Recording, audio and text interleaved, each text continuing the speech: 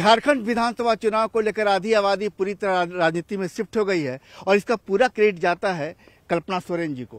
मैंने मैडम, एक जो बात हो रही है कि पूरी राजनीति, आज जो बात हो रही है कि एकदम आधी आबादी की बात हो रही है, महिलाओं की बात हो रही है तो बुनियादी मुद्दे इसमें कहीं गायब नहीं हो गए।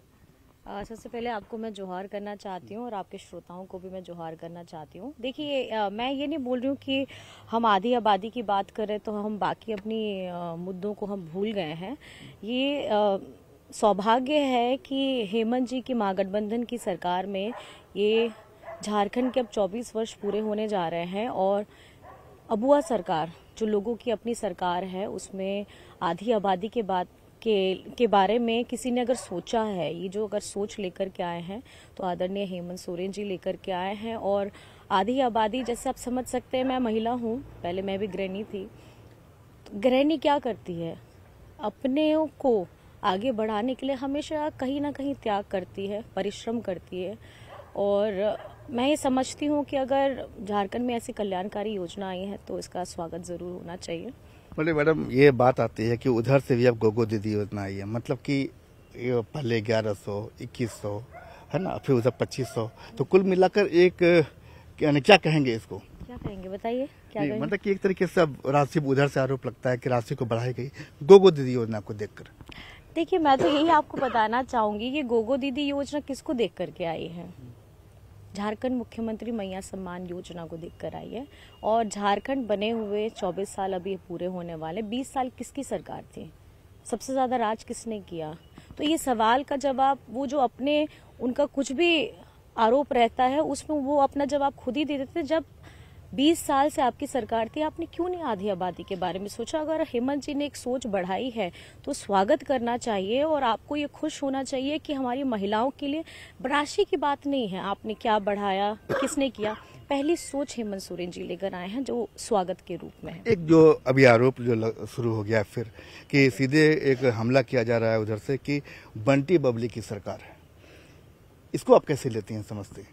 देखिए उपसर्ग तो लगाने के लिए आदमी कुछ भी बोल सकता है और इतने बड़े बड़े अनुभवी लोग बोलते हैं। तो मैं तो समझती हूँ कि अब राजनीति के स्तर पे कहाँ जा रही है। ये अब हमारे अगर सीनियर्स लोग ऐसे करेंगे, मैं तो भी न्यू आई हूँ। मैं क्या सीखूँगी?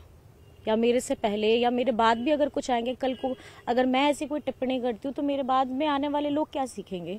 लेकिन कहीं ना कहीं मैं ये समझती हूँ कि अगर ये बातें ऐसी रखती हैं, अगर मैं आपको याद दिलाना चाहूँ कि बंटी बबली अगर वो इतना उपसर्ग लगा रहे हैं हमारे ऊपर तो वो पिक्चर कितनी हिट हुई थी, ये आपको भी पता है।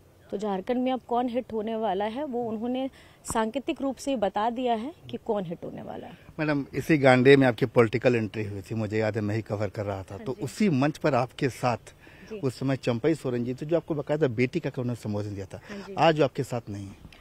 देखिए कहीं ना कहीं एक बड़े अनुभवी और मेरे ससुर जी के बराबर है और मैं उन्हें चाचा जी बुलाती हूँ। तो कहीं ना कहीं मैं आपको कह सकती हूँ कि अपनापन तो था ही और आज वो नहीं है हमारे साथ। आज उन्होंने अपनी विचारधारा बदल ली है। मैं उसमें कुछ टिप्पणी नहीं करना चाहूँगी, ये उनका व्यक्तिगत मामला है, लेकिन कहीं ना कहीं एक बड़ों का होना छोटों के लिए एक सौभाग्य की बात होती है। राजनीति में अभी आप कहाँ देख रहे हैं? जिस तरीके से आप देख रही हैं कि सियासत चुनाव विसर पर है और अभी एकदम से डिसाइडिंग फ़ेज़ चल रहा है। तो आप जेएमएम को या इंडिया गठबंधन को कहाँ पा रही हैं? देखिए मैं तो इंडिया गठबंधन को आ, हमारी झारखंड की जनता के विश्वास में पा रही हूँ उनकी प्यार में पा रही हूँ उनके आशीर्वाद में पा रही हूँ क्योंकि हम लोग आज अगर धरातल पे उतरे हैं तो काम के बूते में उतरे हैं। हम लोगों ने काम किया है इस महागठबंधन सरकार ने झारखंड के लिए एक ऐसी गहरी और लंबी लकीर खींच दी है जिसका सोच पाना हमारे विपक्षियों के पास में तो है ही नहीं अगर आप काम की बात करें तो। आखिरी सवाल मैडम। इरफान अंसारी जी ने जिस तरीके से कह सकते हैं कि एक शब्द का इस्तेमाल किया मैं दोहराना नहीं चाहूँगा आप खुद भी जान रही होंगी। वो शब्द को लेकर सीधे जोड़ा गया कि जामताड़ा से सीता सोरेन जी वहाँ की उम्मीदवार है। तो महिला सम्मान से जोड़ा गया इसको क्या कहेंगे आप? देखिए ये उन्होंने अपना व्यक्तिगत टिप्पणी किया और उन्होंने मैंने जो मुझे जानकारी मिली है उन, उन्होंने ये माफ़ी भी मांगी है। और मैं ये समझती हूँ कि ऐसी बातें जिस तरीके से आपने बताया ना कि हम लोग उपसर्ग एक दूसरे पर लगाते हैं क्या सीखता है कोई भी?